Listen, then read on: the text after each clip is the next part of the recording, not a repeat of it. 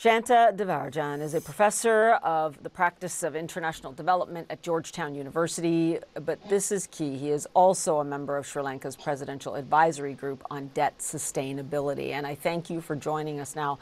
I mean, as part of this advisory group, you already had a heck of a job on your hands trying to convince the IMF and others that Sri Lanka could come out of this, could restructure its debt.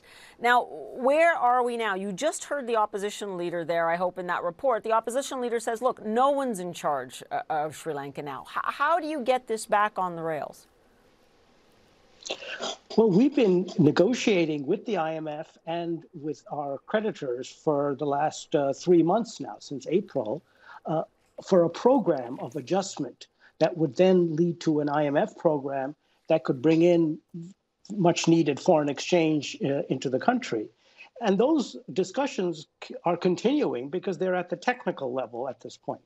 Um, and so the central bank governor and the secretary of the treasury are negotiating with the IMF staff uh, as, as we speak. Um, the, the fact that there's no leader as, as such at the moment is neither here nor there because these technical discussions can go on. What is important is that in about three months' time, when we hope this, this program will be approved by the IMF board, that's when you need a leader to be able to sign off on the program. And so I think the, the main point is that they should come to some agreement over the next day or two as to who is the president or the interim president of Sri Lanka, who will then appoint a prime minister and, importantly, a finance minister. But I should say that uh, regardless of who is in charge three months from now, I'm quite confident that they will approve of the program, even though it was negotiated by a different government, because we've been in co- consultation with the leaders of the opposition, including Sajith Premadasa, whom you interviewed just now, uh, informing them about the program and getting their feedback. And the feedback we've gotten is that they're mo- they're basically on board with the kinds of policy reforms that we are proposing in the program. So I'm reasonably confident that whoever is in charge will approve of the program, even if they weren't the ones uh, who actually negotiated it.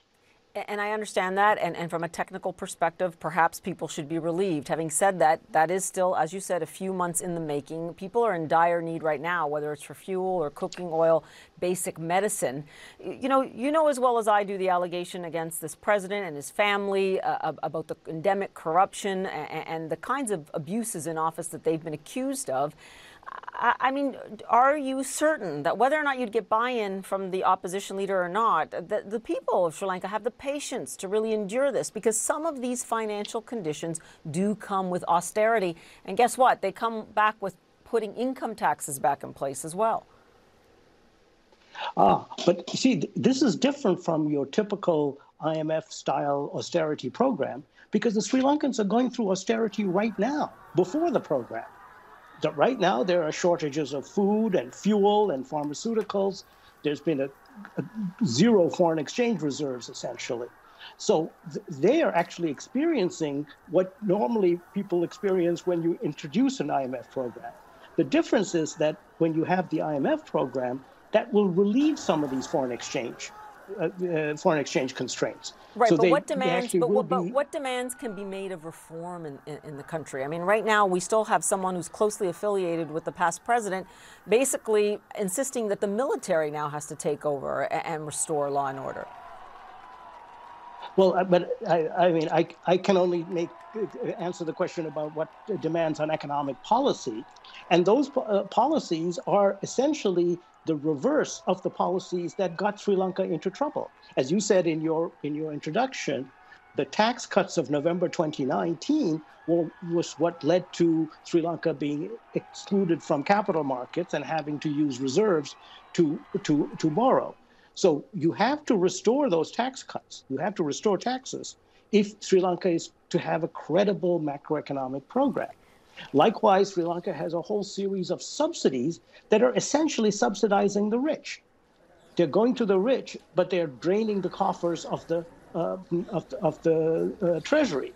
Uh, we have to cut those subsidies and protect the poor by expanding the cash transfers that are targeted to the poor. So those are the elements of the program. This is not a, a draconian program at all. Indeed, it is a program that will relieve the foreign exchange constraints. I, I, know, and I'm just thinking that per, perhaps for people that are on the streets right now, they would have a hard time thinking that in two or three months uh, that this will be a panacea and improve things. And, and I know you're not calling it that. Listen, it's it's important to get your perspective in here, and you've given us a lot of technical detail about what is underway now, which is important. Uh, and I appreciate you coming on, and I hope to have you on in the weeks to come. Thanks so much. Appreciate it.